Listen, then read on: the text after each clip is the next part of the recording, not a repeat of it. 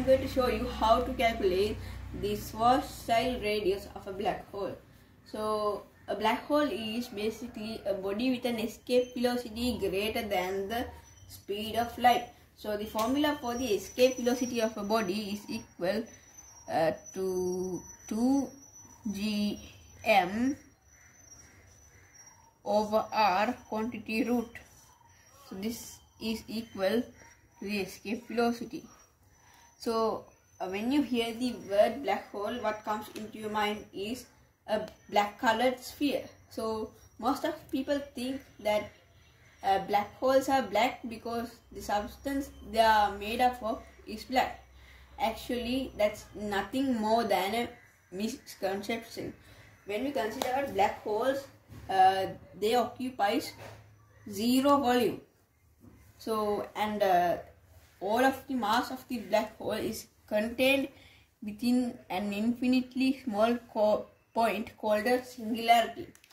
So, uh, therefore, uh, when we consider consider about black holes, they do not contain anything. It's just empty vacuum. So the reason why black holes are black because um, ev- everything which anything which resides within that black colored sphere has an escape velocity greater than the speed of light. So therefore nothing can escape from that region including light. So if no light can make it back to the outside world from this region, that object will appear to be black. So that's the reason why black holes are black. So this Schwarzschild radius is the radius of this sphere. So now I'm going to show you how to calculate uh, that value. So so as I was saying, uh, we can um, we can uh, transform any object into a black hole by um, by by reducing its volume containing all of its mass uh, until the escape velocity of that object becomes equal to the speed of light. So what what we are doing is we are uh, decreasing the value of r until v becomes equal to c. So that's what we are doing.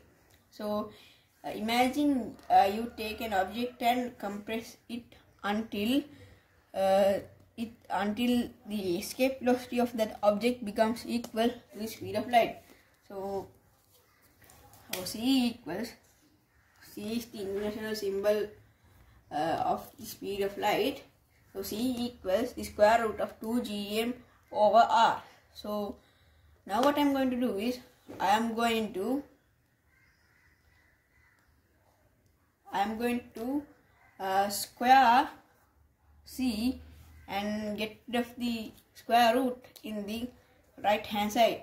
Now I have got that 2gm over r is equal to the uh, to c squared. So g is Newton's gravitational constant and m is the mass of the object and r is the radius of that object.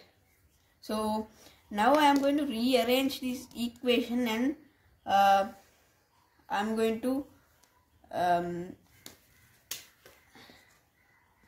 solve for. So now I have got that r equals 2gm over c square. So now what is going to happen is that uh, this object will collapse under its own weight uh, because of the in uh, because of the uh, insane uh, intensity of force.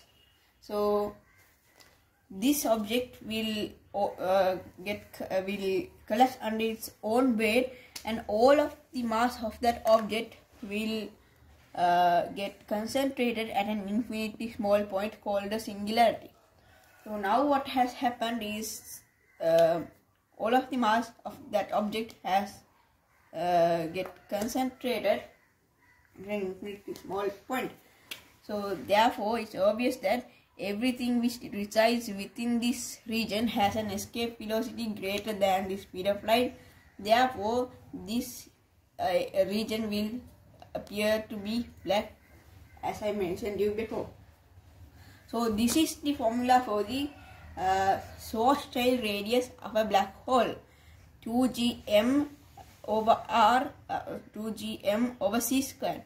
So this gives you the Schwarzschild radius of a black hole. So hope you enjoyed this video. See you guys in a future video.